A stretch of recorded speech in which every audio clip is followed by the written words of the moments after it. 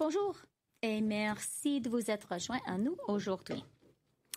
Je souhaite rappeler aux Canadiens que même avec la longue fin de semaine qui commence, nous devons tous continuer à pratiquer la distanciation physique. Ne gâchons pas nos gains. So let me just start by reminding everyone, by reminding all Canadians, that even with a long weekend ahead of us, which is great, we all need to continue practicing physical distancing. Let's be so careful not to squander our hard won gains. So, today we will hear from Canada's Chief Public Health Officer, Dr. Theresa Tam, the Deputy Chief Public Health Officer, Dr. Howard Njoo, and by video link, the Minister of Innovation, Science and Industry, Navdeep Bains, and also by video link, the Minister of Finance, Bill Morneau. And of course, our Minister of Health, Patty Hajdu, is here as well to answer questions. Dr. Tam, please. Good afternoon. Bonjour à toutes et à tous. I will start with the latest numbers on COVID 19 in Canada. There are now 73,829 confirmed cases, including 5,499 deaths and 36,528 cases, or 49%, have now recovered. Labs across Canada have tested over 1,232,000 people for COVID 19 to date, with about 6% of these testing positive overall. We are now testing an average of 26 to 28,000 people daily. These numbers change quickly and are updated regularly on canada.ca slash coronavirus.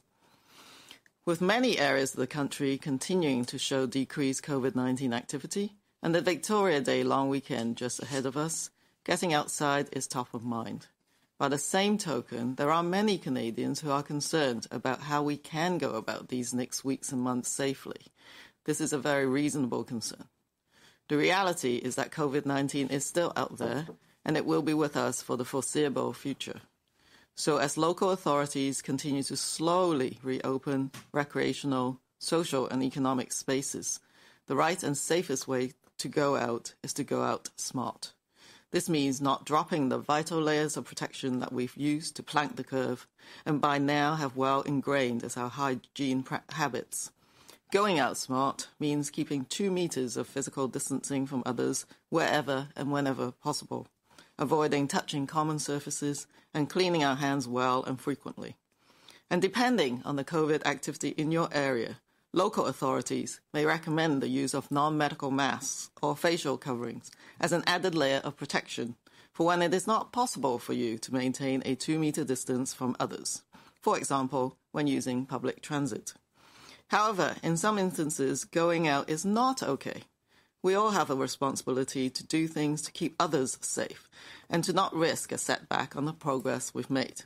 That means covering every cough and sneeze but for those who are experiencing even mild symptoms consistent with COVID 19, it also means staying home and staying apart from others. So, no matter where we are this long weekend, going out should only be an option if we can go out smart. Living with COVID 19 means we've got to maintain our habits of physical distancing, free, frequent hand washing, and staying home if sick. Thank you. Merci. Thank you very much, Dr. Tam. Et maintenant, je donne la parole à Dr. Howard New. Dr. New, s'il vous plaît. Merci. Bonjour. Comme d'habitude, je commencerai avec le nombre de cas de COVID-19 au Canada. Il y a maintenant 73 829 cas confirmés, dont 5 499 décès et 36 528 personnes rétablies, soit 49% Jusqu'à ce jour, des laboratoires partout au Canada ont analysé les tests de dépistage de la COVID-19 de plus de 1 232 000 personnes. Environ 6% d'entre elles ont obtenu un résultat positif. En moyenne, de 26 000 à 28 000 personnes sont soumises à un test de dépistage chaque jour. Ces chiffres changent rapidement et sont mis régulièrement à jour dans le site canada.ca le trait d'union coronavirus. Puisque l'activité relative à la COVID-19 demeure à la baisse dans beaucoup de régions du pays et que la longue fin de semaine est à nos portes, sortir prendre l'air est une priorité. Cela dit, beaucoup de Canadiens sont préoccupés par notre capacité à demeurer, demeurer en sécurité dans les semaines et mois à venir, ce qui est tout à fait compréhensible. En fait, la COVID-19 est toujours présente et le demeurera dans un avenir prévisible.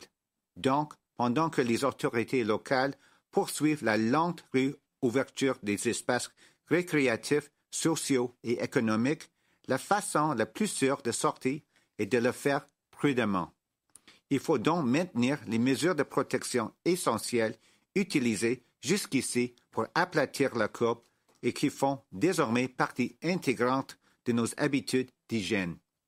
Par sortir prudemment, on entend maintenir un éloignement physique de deux mètres dans la mesure de possible, éviter de toucher aux surfaces communes et bien se laver les mains et souvent. Et, selon l'activité relative à la COVID-19 dans votre région, les autorités locales peuvent recommander le port d'un masque non médical ou d'un couvre-visage comme mesure de protection supplémentaire quand il n'est pas possible de maintenir deux mètres de distance, par exemple dans les transports en commun. Toutefois, il arrive que sortir ne soit pas recommandé. Nous avons tous la responsabilité de garder les autres en sécurité, de ne prendre aucun risque qui pourrait provoquer le recul des progrès réalisés. Cela signifie de couvrir notre bouche chaque fois que nous toussons ou éternuons et, dans dans le cas des personnes qui ont des symptômes très faibles apparentés à ceux de la COVID-19, cela signifie également de rester à la maison et loin des autres. Donc, peu importe où vous vous trouvez pendant cette longue fin de semaine, vous devriez sortir seulement si vous pouvez le faire prudemment. Pour cohabiter avec la COVID-19, il faut maintenir l'éloignement physique, se laver les mains souvent et rester à la maison quand nous sommes malades. Merci. Merci, Dr. Njoo. And now we will hear from our Minister of Innovation, Science and Industry, Navdeep Bains. Nav, please. Uh, thank you very much, uh, Chrystia. Over the past month, our government has been working hard to make sure that all Canadians can keep food on the table and a roof over their heads. We've made changes to our employment insurance program, introduced the Canada Emergency Response Benefit, and provided a wage subsidy for business owners to avert layoffs. Today, we're announcing a new program that will provide temporary support for Canada's research talent, help sustain research capacity at universities and health research institutes during these extraordinary times. Aujourd'hui, nous, annonçons un programme temporaire visant à soutenir les chercheurs canadiens de talent et la capacité de recherche des universités et des instituts de recherche de santé durant cette période. Canada's universities and health research institutes employ tens of thousands of highly qualified research personnel. I'm talking about the researchers, lab technicians, trainees, and other support personnel who are the driving force for Canada's research, both universities and health research institutes like the Sick Kids Research Institute in Toronto and the Montreal Clinical Research Institute. These people are significant drivers of innovation. They generate the discoveries and inventions that help people and the economy. Many of these very researchers have the expertise we need to help us better understand COVID 19 and how to fight it. But these highly qualified personnel are at risk of being laid off right now. Non government sources of revenue like private sector contracts, charitable donations, and endowments, which account for much of the income that funds the research activities of universities and health research institutes, are drying up due to the COVID 19 crisis. Help them, we will be providing up to $450 million to help sustain the academic research community through the crisis caused by COVID-19. Nous annonçons jusqu'à 450 millions de dollars pour soutenir le milieu de la recherche universitaire et de la santé durant la crise de la COVID-19. All Canadian universities, health research institutes eligible for federal granting funding are also eligible for this program in support of their research related activity. In addition to providing wage support for research personnel, this investment will also help universities and health research institutes cover the unanticipated costs associated with maintaining research assets at risk due to the pandemic and ramping up research activities once physical distancing measures are relaxed and ultimately lifted. Cet investissement s'ajoute aux mesures que nous avons mises en place pour maintenir les emplois et l'excellence en matière de sciences et de recherche au Canada.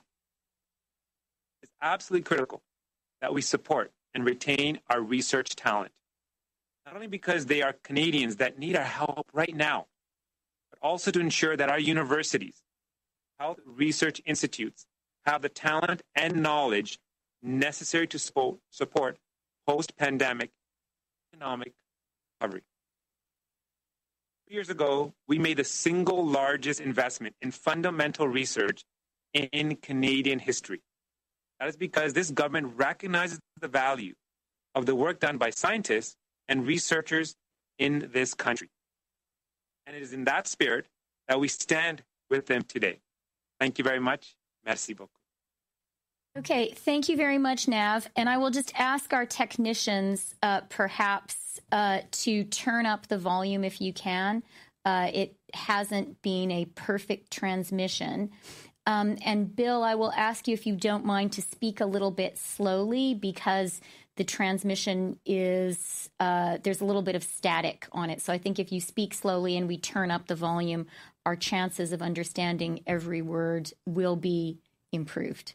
Okay, so now we're going to hear from our finance minister, Bill Morneau. Bill, please. Well, thank you, Chrystia. I think, as we all know, we've been working hard over the last uh, months to protect jobs. We introduced the Canada Emergency Wage Subsidy to do just that. To date, the uh, wage subsidy is helping almost 2 million workers across Canada, and thousands of applications are being received every single day. While provinces are slowly starting to um, change away from lockdown procedures. We know that businesses continue to need support to keep workers on payroll or even to rehire them as things pick up. That's why our government has announced that we will extend the Canada Emergency Wage Subsidy to August 29th, 2020. We plan on consulting with businesses and labor representatives over the course of the next month and any potential adjustments that we make following the consultation period, including possible adjustments to the revenue decline threshold, will seek to promote jobs and promote growth. Notre, notre gouvernement a annoncé son intention de prolonger la subvention salariale d'urgence du Canada jusqu'au 29 août 2020. Nous consulterons les représentants d'entreprises et les syndicats au cours du mois prochain. Tout potentiel ajustement que nous ferons après la période de consultation, y compris les ajustements possibles au seuil de base de revenus, visera à promouvoir l'emploi et la croissance économique. We're also making changes so that more workers and more organizations can benefit from the wage subsidy. New regulations are effective immediately and retroactive to March 15th. Wage subsidy is now available to registered journalism organizations and all registered Canadian amateur athletic associations. This includes Hockey Canada, Lacrosse Canada, and others. Also eligible now are tax exempt Indigenous owned corporations and partnerships that include Indigenous governments and eligible employers. This will ensure more Indigenous employers can support their workers and non-public colleges and schools are now eligible, including driving schools and language schools, and art schools, which foster Canada's world-class talent, like the National Ballet School, for example. Wage subsidy will also be available to partnerships with non-eligible members, as long as the non-eligible members are not majority owners. Nous faisons aussi des changements afin que plus de travailleurs dans plus d'organisations puissent bénéficier de la subvention. Les nouveaux règlements entrent en vigueur immédiatement et seront rétroactifs au 15 mars. La subvention est maintenant disponible pour les organisations de journalisme enregistrées, toutes les associations canadiennes enregistrées de sport amateur, les collèges et, et écoles non publiques, y compris les écoles de langue et les écoles de conduite. We also intend to propose legislation to provide greater flexibility for employers to use the wage subsidy to rehire and support workers who may not have been regular employees in the early months of this year, but are nonetheless important to operations. Workers like seasonal employees. Nous avons également l'intention de faire des modifications législatives pour donner aux employeurs une plus grande flexibilité dans l'utilisation de la subvention. Ils seraient ainsi capables de réembaucher et soutenir les travailleurs qui n'étaient peut-être pas dans des employés réguliers au cours des premiers mois de cette année, comme par exemple dans le cas des travailleurs saisonniers. We also want to ensure that the wage subsidy applies appropriately to corporations formed on the amalgamation of two predecessor organizations. My message to employers remains the same. We hope that you apply to this program and rehire your workers. While much remains unknown, there's one thing that I do know workers drive our economy. By making sure that they have jobs to go back to, we're making sure that Canada stands ready to recover. Thank you very much. Back to you, Christian. OK. Thank you very much, Bill. Et nous sommes maintenant prêts à répondre à vos questions. Carl, s'il vous plaît. Merci, Madame la Vice-Première Ministre. So, as usual, we'll start with three questions on the phone, one question, one follow-up, and then we will turn to the room. Operator, over to you. Thank you. Merci. Please press star one at this time if you have a question. Veuillez s'il vous plaît appuyer sur étoile 1 maintenant pour poser une question. The first question, la première question, est de Mélanie Marquis de la presse. À vous la parole. Merci. Euh, bonjour. Ma première question est pour euh, Monsieur Morneau. Euh, combien, à combien est-ce que euh, ça va euh, de, Pardon, je recommence. Combien va coûter le programme élargi de subvention canadienne euh, salariale avec ce que vous proposez comme élargissement? OK, Monsieur Morneau. Merci. C'est une question importante, bien sûr. Nous sommes maintenant en train d'assurer les employeurs que la subvention salariale va être là jusqu'à la fin d'août. Ça, c'est important pour leur planning. Euh, mais comme j'ai dit, nous allons considérer les ajustements. Donc, aujourd'hui, je ne peux pas dire exactement avec précision euh, nos, euh, nos, estimations, mais quand nous avons plus d'informations, bien sûr, nous allons euh, introduire les, les chiffres appropriés. Mélanie, ensuite. OK, puis euh, oui, c'est ça, mais c'est euh, sur un autre sujet encore pour M. Morneau. Je voudrais savoir euh, concernant les, les, transferts en santé aux provinces. Euh, vous savez comme moi que leur budget de santé va exploser avec euh, la situation qu'on vit présentement. Êtes-vous ouvert à hausser les transferts en santé, à les faire passer à 6 And Bill, before you answer that question, there's a request here from the reporters in Ottawa that you repeat your reply to the first question in English, please. So I have to remember my reply to the first question. Is that it? The uh, the first question was about the uh, the wage subsidy and the our expectations on costs. And as I mentioned, uh, first and foremost, we want to give assurance to businesses that the wage subsidy will be extended to the end of August. That gives them the ability to rehire workers to do their planning with some sense of security. That said, we are looking to potentially make adjustments to the program to make sure it encourages hiring. So, with those adjustments, which we are going to consult on, uh, still to come, I can't yet make uh, precise estimates on the costs, the implications. Um, pour la question euh, au sujet de, notre approche de travailler avec les provinces, c'est clair qu'on va avoir des, les coûts euh, euh, et les, choses difficiles à cause de COVID-19 et les, coûts pour notre système de santé est une des choses qui va être très importante dans, nos, prochaines discussions. Donc, quand on a une, une possibilité de parler avec les provinces, on va considérer comment nous pouvons travailler ensemble.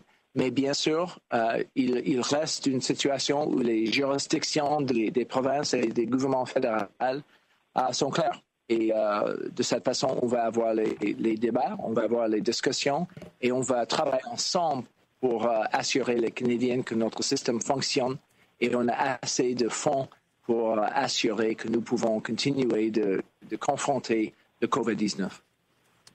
Thank you, Minister. Et je pourrais ajouter juste que cette question de, de l'écoute euh, de, euh, dans la lutte contre la COVID-19 était discutée entre le Premier ministre et les premiers ministres des provinces et territoires euh, hier soir. Euh, et le Premier ministre a, a, souligné encore une fois que le fédéral est là pour aider les provinces et les territoires euh, dans leur travail contre le COVID-19, incluant dans les questions très importantes des dépistages. Merci, Madame la Vice-Première ministre. Opérateur, prochaine question, s'il vous plaît. Merci. The next question is from Mike Blanchfield from the Canadian Press. Please go ahead. Yes, hi, good afternoon. Uh, this question is for Dr. Tam and perhaps the Deputy Prime Minister as well.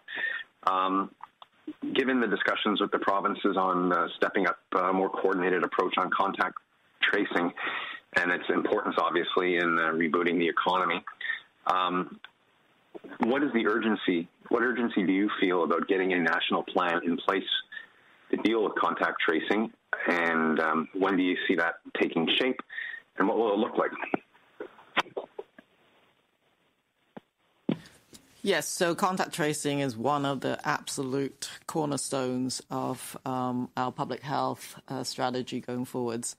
Contact tracing is, of course, done at a local level with um, support uh, as needed from uh, the provincial and federal levels. So I think from a um, and, and, in general, that is done by uh, public health um, staff or officials, augment, augmented now by uh, some of the increased capacity uh, that have been um, put in place by different jurisdictions. Some of them have hired, uh, say, students and other surge capacities as well. Uh, the federal government is continue well, we are offering uh, additional support as needed on that front. Uh, there have been a number of discussions about um, technological applications. There are some jurisdictions that have uh, began to try some of this um, and sharing some of the lessons. I do know that there's been further discussions, I think, at, a, at, at the ministerial level. Yeah, and I can just add, Mike, it's a really good question. And as you will have seen in the readout uh, from the call between the first ministers last night, testing and contact tracing and working together on that uh, was one of the main issues discussed. Uh, there was a real enthusiasm of all of the first ministers and, of course, of the prime minister for us as a country to really continue to step up testing and contact tracing and a real shared recognition that doing that is very important as we look towards reopening our economy. Um, there was some discussion of the collaboration that is already happening. For example, uh, this week, uh, the federal government has been working with Ontario to provide some specific support, just some people on contact tracing, and that's going well. Um, and then Premier Moe made a point, uh, speaking on behalf of the Council of Federation, which people really agreed with, which is as we reopen the economy, we are going to see more Canadians traveling between provinces. And so there will be more of a need for us across the country to collaborate on contact tracing. That was a point that the premiers raised. And so we did talk about ways uh, that we're all going to need to work even more closely together on that. Follow up, Christy, if I may. Please, Nav. Thank you very much. Just quickly to add on what Chrystia said uh, with respect to uh, contact tracing, one other element that's very important is not only are we working with the provinces and territories, not only are we engaging with different organizations, but privacy will be central. Uh, the architecture around privacy principles will be a key feature of any tool that we uh, work with and move forward on. So I wanted to highlight the importance of making sure that as we look at other jurisdictions, we want to be driven by a Canadian solution based on Canadian values, and privacy will be front and center. Mike, follow up. Yeah, okay. Um, for the Deputy Prime Minister, U.S. media reports indicate the Trump administration wants its border restrictions to have an indefinite timeline. Are they asking for the current that current non-essential travel, uh, the ban between Canada and the U.S. Are they asking it to be extended beyond June 21st? And if so, is Canada pushing back on that?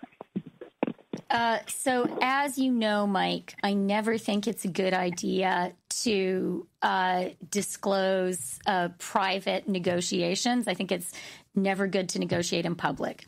But let me just assure Canadians that decisions about the Canadian border are going to be taken by Canadians in the Canadian national interest with the health and safety of Canadians first and foremost.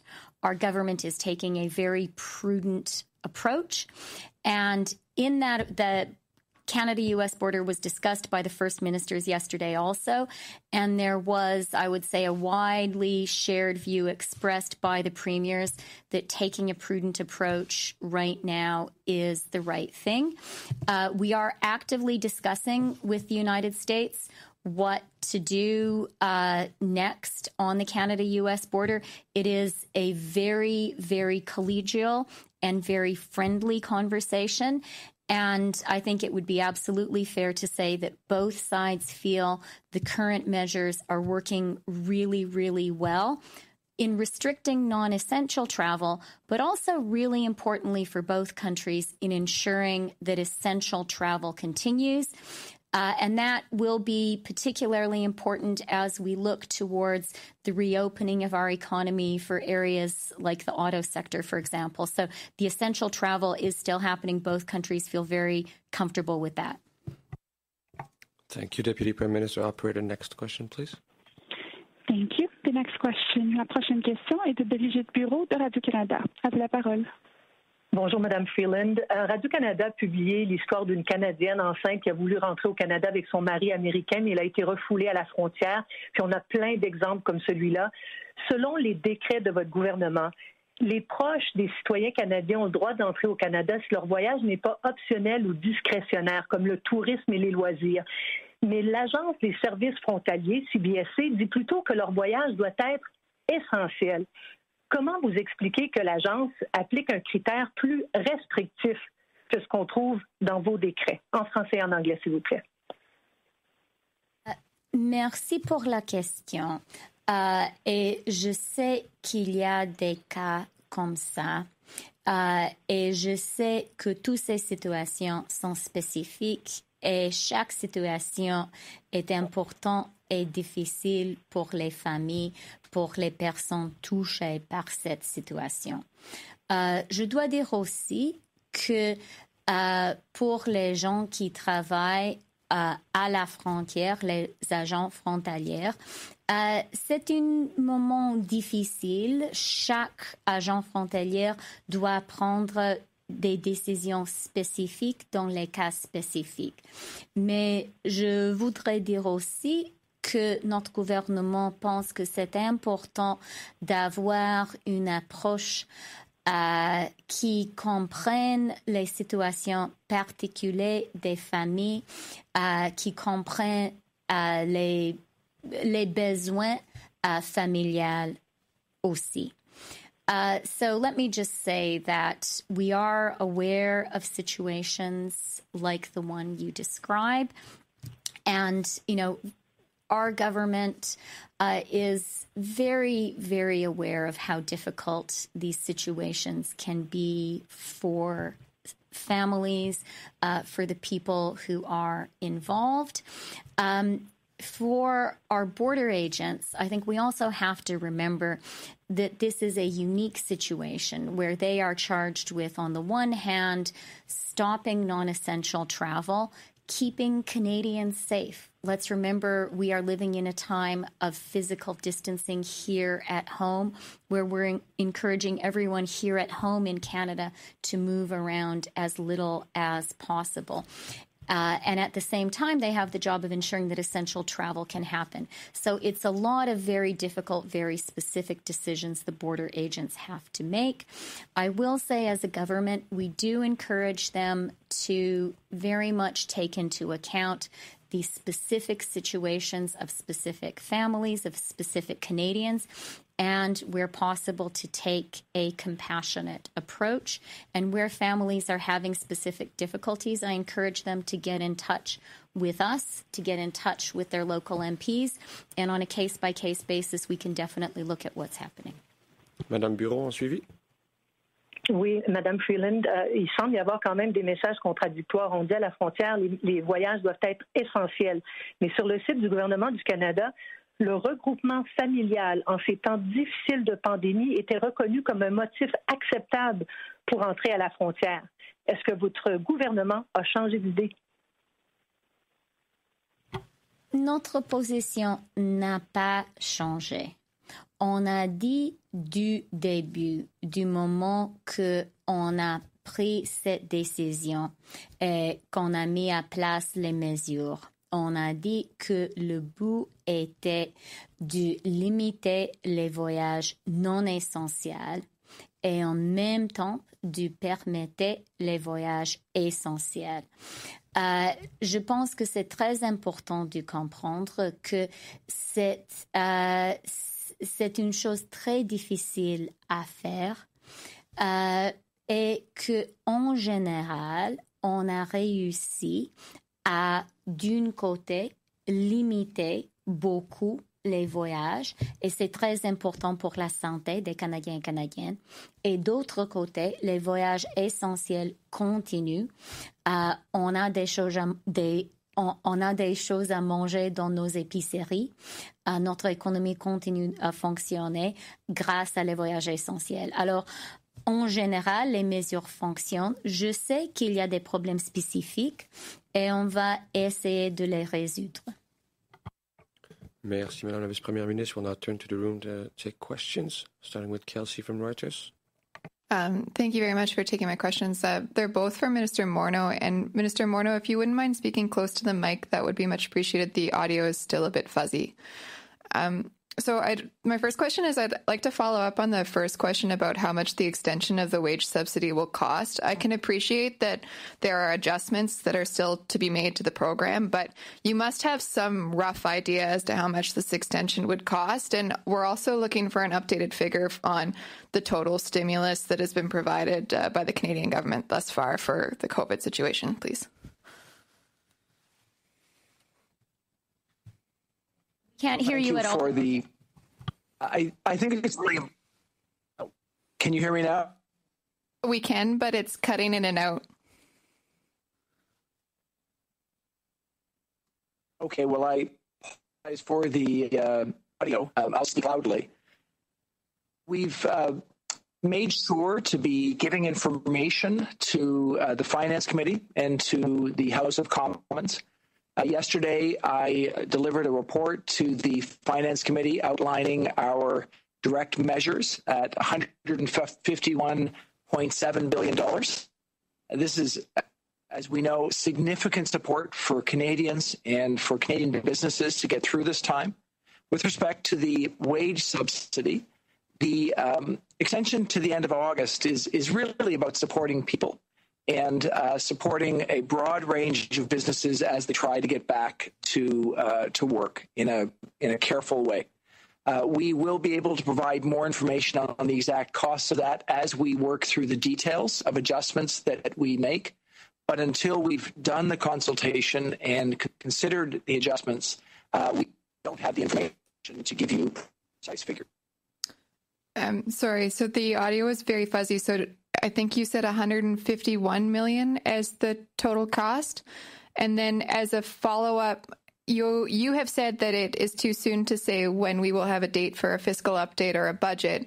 But one of your uh, finance officials told the finance committee this week that there was work ongoing on a fiscal update. So I'm wondering how you jive these two positions.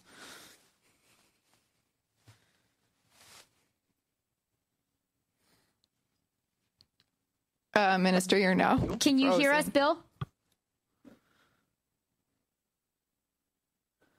I uh, it's it's difficult, but I, I got the thrust of the Okay. question. So yes, I'm happy to respond.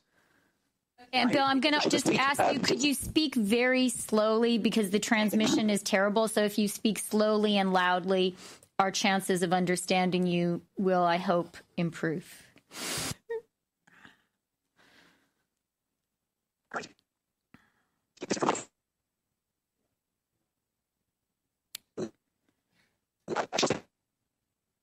I, I'm sorry, Minister. We we can't hear you at all.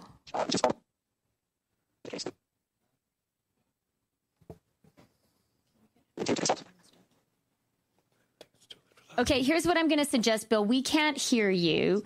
So, Kelsey, would you mind? We will go on to Mike's question. We'll, it's also for Bill. Okay. What's our technical view? Okay, so we're going to turn the video off and then try it again. Okay, we're going to turn you guys off. I think- Sorry. And then we're going to turn you back on. Okay. okay. In the meantime, Julie, do you have a non Bill or Nav question? I think we'll just get the ministers on the phone ASAP, but we can take Julie's question in the meantime.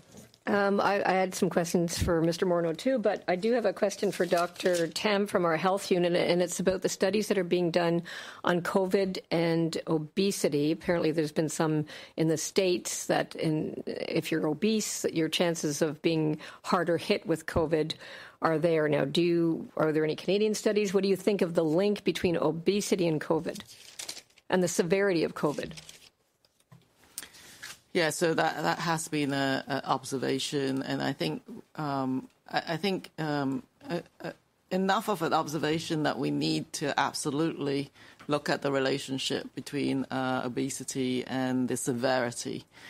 Uh, we do see that, and, and, in fact, that was one of the observations very early on when uh, we had the last pandemic of H1N1. Was it was something that we weren't really aware of, and, and, and again with COVID-19, this observation has been made. It could also be linked with other um, comorbidities or other uh, medical conditions as well. And so I think um, no, this is uh, worthy of uh, continuing to uh, analyze that. But we absolutely, I think, is one of the conditions that uh, for which clinical information needs to be collected. Julie, no follow up?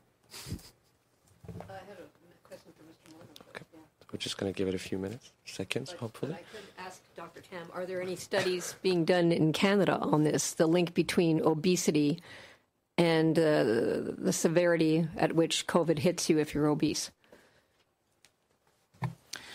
Um, I'm not aware of a specific study, but it's uh, one of the sort of um, clinical features that uh, it needs to be is collected um, as part of um, um, the data in Canada. But um, as you all know, we've had some gaps in our data, so I, I don't know about the robustness of, of that information. But I think um, this is best also studied in the sort of clinical sector as well, not just the public health domain, but uh, in the clinical domain.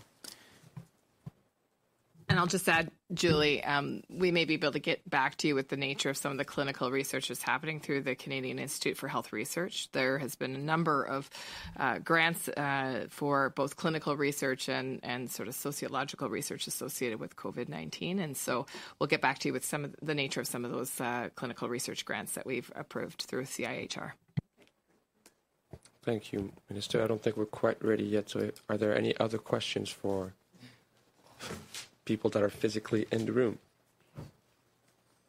Okay. I'm going to suggest, Carl, if we can get them on the phone, I think That's- that's that's what we are trying to do right now. I think. to get them on the phone? Okay. So I'm just going to give it a few minutes. Apologies for that.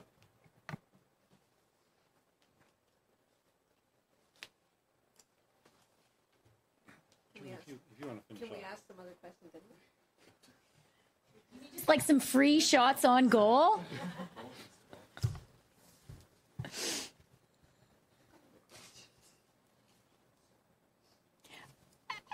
I think that we have to let our reporter friends ask more questions if they wish. Minister Morneau Okay. is back on. Bill, can you say a few words, Bill, just so that we can see if we can hear you? Okay. Clearly, Bill can't hear us, so.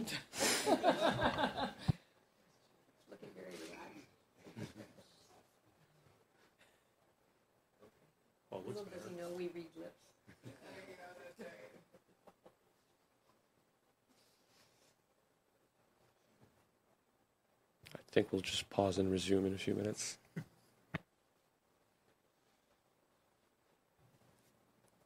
So, Kelsey, Julie, Mike, if you guys have another question or two, you can ask one. I just I have a curiosity. Um, if, if we have time, I, I'm wondering how how Dr. Tam you suggest to those who are working in essential services and who have been working very long hours for the last couple of months to keep the economy going and, and to, to maintain the healthcare system. How do you deal with the potential of burnout and, and avoid that? Um, I'm sure um, Minister Hajdu is very much a supporter of maintaining mental health. Will have something to say. Is absolutely a major issue for sure. I think healthcare workers have been working this long hours. Not just healthcare workers, other many other essential services, uh, people who keep many supplies going, and I think um, I think there are many programs set up um, for em- employees. If you're part of those programs, you know, take um, take the most advantage of it um, for sure. Um, the minister may want to talk about the sort of suite of applications that we have, but it is really difficult. I mean, it's it's a matter of individuals being supported by their families, by their communities, uh, by the work environment they work in, um, as well as getting help when needed. I have to say, as a health worker and perhaps someone who's been working many hours, we're not very good sometimes at asking for help. I know doctors are not very good at all in spotting our own, uh, you know, health needs. So I think um, we also need to be able to tell colleagues. I always say to my staff, you know, if I'm behaving strangely, would you please tell me because I'm I might not actually know myself, and and that and and behaviors that are out of the ordinary for me uh, affects how everybody else works in my team. So I think partly uh, uh, a few days earlier, I think uh, during um, sort of mental health week, I said, you know, you got to kind of talk about how you feel, which is not easy for many. Um, health workers in particular feel that they have to help others and sometimes neglect to sort of help themselves. So we have to be aware of that as well. Okay. Thank you, Doctor. I'm told we now have Minister Bains and Minister Morneau on the phone. So, Kelsey, follow up.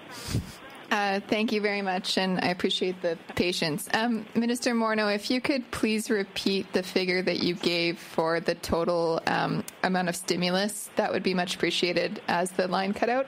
And then, as a follow up, we're wondering um, you have said that there is uh, you, it's too early to give a fiscal update or budget at this point, but one of your finance officials told the committee this week that there was work ongoing on a fiscal update. So I'm just wondering how you jive those two positions. Well, thank you. And I can hear you clearly now. I hope you can hear me clearly. It's uh, much better. Thank you. So I was uh, responding to your first question around the scale of our direct support. And as I reported to the Finance Committee in the House of Commons yesterday, the uh, report on the direct support is at $151.7 billion. Obviously, enormous support for Canadians as we try to get through this time, and significant support for businesses to find a way to get across a, a difficult period. With respect to the um, provision of information, obviously we are being transparent as we announce new programs to make sure we give a sense of the uh, expectations of the cost of those programs. Uh, you heard one of my finance officials this week talk about our need to be constantly ready to provide uh, fiscal updates. We're constantly consulting with business and with industry to get a good sense of where our economy is going. Uh, that said, we want to make sure that the situation is more stable before we give uh, an outline of, of, a fiscal update. We're in a very fluid situation, and uh, as we have a more stable situation from which to provide uh, economic uh, forecasts, we will come forward with those forecasts, which we think is appropriate. Thank you, Minister. Julie, follow up. Uh, Mr. Morneau, Julie Van Dusen, CBC. Um, so there was a huge uptake on this on the CERB, the two thousand dollar a month benefit. Not so much on the wage subsidy, and I'm wondering, is as the economy starts to reopen a little bit, is the CERB a disincentive in that some people might um, rather stay at home? Maybe they're too afraid to to go to work, or maybe they're being offered less than the than the CERB offers, the two thousand dollars a month. Julie, this is an important uh, an important question, and it's something that we're working on. Uh, the one correction I'd make is that both programs have had really significant impact. We've had, as you know, more than 7.5 million people that have gone on to the emergency response benefit. But we've also had uh, millions of people through their employers uh, apply through the wage subsidy. So we see both of these programs as very important to support uh, employees uh, and people. And as we move forward, we are exactly as you said, trying to make sure that there's an incentive for an employer to uh, keep their employees on or to rehire workers as we uh, carefully open up.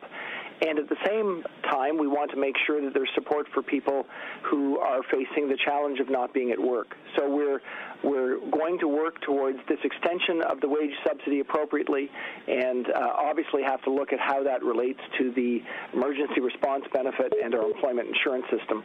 That work's ongoing. Thank you, Minister. Molly. Mr. Molly Thomas, CTV National News. Uh, I'm just going to follow up on Julie's question there. Um, only 3.36 billion has been paid out of a 70 billion dollar wage subsidy program. So, was this the wrong path to supporting workers? Thank you. Uh, we, we think this was uh, exactly the right path and exactly the right approach. So the idea was the emergency response benefit had to go out first because we have 5.7 million out of the 19 million workers in Canada not actually attached to employers. So we wanted to make sure we supported those individuals. But the wage subsidy we see is critically important for businesses to retain the relationship with their employees. So uh, what you're seeing is that that program is uh, being rolled out. The uh, program started on April 27th, and uh, employers have been signing up at a rapid pace. Uh, so you will see more uh, funding through that program come as that as that is rolled out to more employers. And as we said today, the extension, which we think is so important, will enable us to continue to support people and enable us to get to get carefully back to work, providing the appropriate level of support to uh, to make that happen. So just Molly, hang on 30 seconds. Um, someone who is on one of our phone lines is not on mute. So if I could urge everyone who's part of this uh, exciting festival of openness and transparency to be sure that they are on mute unless they are intending to speak. Please, Molly. Um, Minister Morneau, so beyond the extension, then how are you going to get more businesses on board? Because it seems like there's this huge amount of money there, but people aren't tapping in, or is it just that um, businesses are folding in our country? They can't. They don't even need this. I, I would say that uh, that it's really neither of those two things. What's happening is, as the program has been up now for a couple of weeks, we're seeing employers come on board, and the extension will give people a greater sense of confidence that they can plan as they move forward to use the wage subsidy. So that's the reason we're moving forward in this regard. I think that uh, we will certainly see uh, businesses decide that this is appropriate for their situation, and in some other businesses, they may they may not, and that will be a decision that they'll each individually need to take based on their expectations for their their business. But we think it's a very important support mechanism. We think it will enable us to get back to work uh, more rapidly and protect people and protect businesses to uh, to be able to, to deal with this challenge. Okay. Mike, we're going to take your question before we go back to the phone Okay. just to prevent any further technical All issues. right, Mr. Morneau, as companies start to reopen, uh, their revenues may increase, but not to the levels they were before. Um, so, what will precisely change with the eligibility threshold for the wage subsidy to ensure companies can feel like they're not being penalized for opening their doors? Well, thank you. In fact, that that's the that's the perfect question. And what we're what we're saying is that moving from a situation where we essentially asked businesses to be locked down to a situation where we're gradually reopening means we need to consider adjustments to these programs. And that's what we intend on doing. Uh, we will be talking to uh, businesses and to uh, labor leaders to think about the best way that we can support businesses as they move to this gradual reopening. We don't want the programs that we have to have a disincentive for those businesses to rehire workers. In fact, it's what we're seeking is the opposite that they do rehire workers and that they do- carefully get back to business. So we'll be looking at those uh, incentives and disincentives in the coming uh, days and weeks in order to provide more clarity for businesses on how this extension through and until the end of August can support their business now and as they move forward.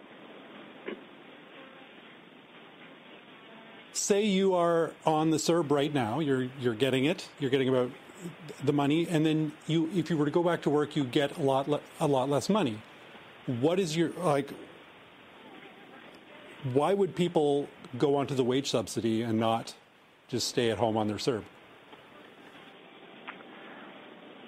I, think that, uh, as I as I just mentioned, we do need to carefully look at how these programs work together. Uh, the the straightforward answer is that the CERB is $500 a week, and the, wage subsidy goes up to $847 a week, uh, meaning that uh, there is incentive for people to be on the wage subsidy, and there's incentive for employers to move their employees onto the wage subsidy to the extent that that pay would mean that they'd get more than $500 per week. That said, we are looking carefully at the relationship between these two benefits so that as we move into a, a, reopening phase, that we have the right incentives and the right support, the support for workers that they need and the support for businesses so that they can get back to work appropriately. Merci, Monsieur le Ministre. On va prendre deux questions au téléphone. Opérateur. Thank you. Merci. The next question, la prochaine question est de Émilie Bergeron de l'agence QMI. À vous la parole. Oui, bonjour. Ma question pour M. Morneau. Euh, les, le taux d'inscription à la subvention salariale n'est pas aussi élevé que ce que vous euh, espériez. Euh, on avait vu avec la PCU que le nombre de demandes avait été euh, instantanément assez fulgurant. C'est pas la même chose pour la subvention salariale. Est-ce que ça a contribué à vous convaincre d'élargir l'accès? Merci pour la question. Euh, c'est une bonne question. La subvention salariale est, une euh, approche importante pour, euh, pour protéger les gens, mais aussi pour assurer les entreprises qu'ils vont avoir une possibilité d'avoir un pont d'ici à la fin de la crise. Donc, avec une, une situation où on va avoir une continuation de la subvention salariale, on, on, on va avoir plus de confiance pour les employeurs, pour leur planning, et ça c'est très important. De cette façon, ils vont considérer la subvention salariale comme important pour leur affaire. Donc ça, c'est notre approche. On doit considérer les ajustements parce qu'avec un une, euh, un changement dans la situation dans notre économie, avec, avec un une, une changement graduel d'être euh, euh, dans une situation plus normale, c'est nécessaire de, de, considérer les ajustements pour, euh, pour avoir la continuation de, de l'utilisation de la subvention salariale avec peut-être plus de revenus pour une, euh, une entreprise. Émilie, en suivi? Merci. Oui, merci. Euh, oui, en suivi, vous avez parlé dans votre ouverture de discussion avec avec les, le milieu des affaires et avec les syndicats au cours du prochain mois. Est-ce que c'est pas un peu tard, compte tenu qu'il y a des entreprises qui qui en sont plus à une question de jours pour leur survie qu'une question de mois, d'avoir des consultations pendant un mois, est-ce que c'est pas risqué? Merci. Si j'ai dit pendant des mois, c'était une erreur. Donc, on va avoir les discussions pendant les prochains jours avec euh, avec les entreprises, avec les euh, chefs de, des syndicats. Ça, c'est très important pour considérer les ajustements. Donc, la continuation de le programme va être jusqu'à la fin d'août. On va avoir plus de détails sur les ajustements possibles. Euh, beaucoup plus court que ça. Donc, euh, une, une, discussion pendant les prochains jours, peut-être une semaine ou deux, mais plus d'informations très bientôt. Merci, Monsieur le Ministre. Operator, last question, please. Thank you. Our last question, la dernière question, is from Christopher Nardi from the National Post. Please go ahead. Good afternoon. Um, this question is also for um, Minister Morneau. Minister Morneau, you um, mentioned earlier that you'll be expanding uh, criteria to uh, various other organizations, including, um, you know, private schools, the National Ballet School you mentioned specifically. What happened in the first iteration of the legislation that all of these organizations were excluded on what all of them essentially called technicalities, like the National Ballet School, for example, who said they were excluded pretty much simply because they had the word school in their name in a very small academic program. Why were they originally excluded in the first place? I think uh, the uh, the approach we've taken on uh, on the wage subsidy, on the emergency response benefit, on the emergency business account, in each case has been attempting to get to programs that can support the broadest number of Canadians as possible. So you're seeing the outcome of that on the emergency response benefit. More than seven and a half people supported the emergency business account. Now more than 600,000 loans. What we've said all along is that we we recognize that rolling out policies this rapidly means that we might not get everything perfect on the first iteration, but we will rapidly come back and, and make changes as, as required. And what you're seeing today is that we recognize that uh, because of the design and the, the rapid legislation, there's some things that we needed to fix. And one of them is that there are some organizations that were uh, ineligible just because of the nature of, of their organization. Uh, but they've experienced the same 30% revenue drop. So this is about protecting people that are working for organizations that are going through a big and challenging time. And uh, you've seen that we recognize that driving schools or art schools or uh, or a ballet school have had that revenue drop, but but don't have the uh, access to the wage subsidy. So so this is a, a fix. Uh, we will continue to look at, at, challenges, work together with other parties in the House of Commons to address those challenges if legislation is required, so that we can support the broadest number of Canadians possible during a really challenging time. Mr. Nardi, follow up. And uh, uh, you mentioned earlier as well that your your government is looking at that 30% minimum um, revenue drop in order to be eligible for the wage subsidy. Uh, can you go on a bit about that? Is it is it too stringent for certain organizations, and what percentages could you possibly look to drop it or increase it depending on what you're looking at? I, I really don't have a, a, an appropriate answer for you at this at this time. We think that as we uh, move quickly to a new phase, we need to we need to take considered decisions. Those decisions will not be extended over a long period of time, but they require some consultation in order to make sure we get it right. So in the coming days, we will be doing that work. We will be thinking about how we can extend this program appropriately. We've committed to businesses that it will be extended till the end of August, giving some sense of confidence that they can use the wage subsidy, sign up if they already haven't, but uh, make sure that we get it right. So as we have more details, we will certainly uh, come out with them, uh, but for now, we're, we're going to continue our analysis and have more to say in the coming days. OK. Euh, avant de partir, je voudrais juste remercier tous les journalistes euh, pour votre patience avec les problèmes techniques aujourd'hui, mais aussi pour votre travail acharné tous les jours. Um, before we leave, I just really wanted to thank all the journalists here in the room in Ottawa and on the phone for your patience with our technical difficulties today, but also for your really hard work every day.